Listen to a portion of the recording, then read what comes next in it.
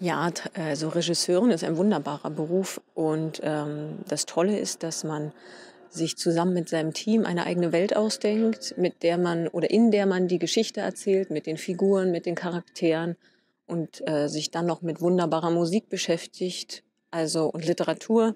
Also, was gibt's Besseres?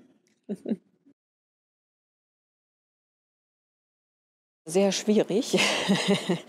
Alleine schon also, man hat einmal mit den ganzen Abständen zu tun natürlich, äh, was Massenszenen wahnsinnig schwierig macht, aber auch ähm, also eigentlich jede Szene, aber besonders dann auch noch mal Liebesszenen in 3 Meter Abstand, wenn man sich ansingt, sind noch eine ganz andere Herausforderung, ähm, wofür man Lösungen findet. Aber die Palette, sage ich mal, der Ausdrucksmöglichkeiten wird sehr schmal durch, äh, die Corona-Bedingungen.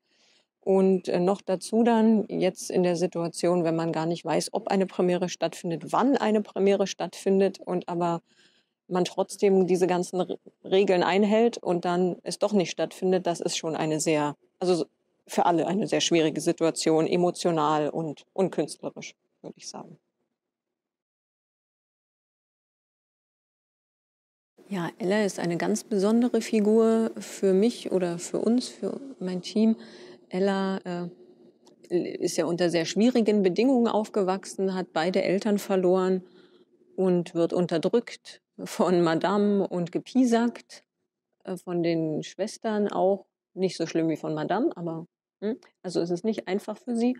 Und sie schafft es aber trotzdem, sich ihr gutes Herz, ihre Freundlichkeit zu bewahren und, ähm, kämpft diesen Kampf gegen sozusagen gegen die Verbitterung und, ähm, schafft das dadurch auch den Prinzen äh, zu begeistern und eben dann mit ihm zusammen die ganze Welt zu verändern, die ganze Gesellschaft, in der sie leben.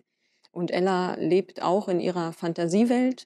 Das ist wie eine Flucht dann auch in ihre Fantasien und dadurch, äh, schützt sie sich auch vor dem Bösen, kann man sagen. Und da hat sie uns ein bisschen auch erinnert an die Figur, äh, Amelie aus dem Film Die, äh, fabelhafte Welt der Amelie, auch eine ganz besondere Figur. Und, äh, ja, das ist, äh für uns ist da durchaus eine Parallele da. Dieses Mädchen, was eigentlich, ähm, sich den Weg erkämpft zur Emanzipation durch ihre Fantasien und durch ihre Freundlichkeit.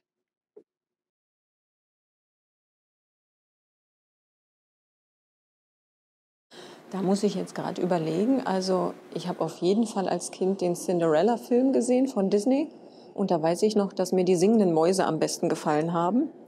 Ähm, und sonst dann, äh, später erinnere ich mich auch an einen Cinderella-Moment, aber das ist dann ein Erwachsenenfilm gewesen und zwar „Manche mögen's heiß“ mit, äh, Jack Lemmon und Tony Curtis, wo, die beiden sich als Frauen verkleiden, äh, um in einer Damenband mitzuspielen, um wegen der Mafia unterzutauchen. Und da verliert nämlich Jack Lemmon seinen Schuh als Dame und ein reicher Millionär gibt ihr den Schuh wieder ihm ihr den Schuh wieder.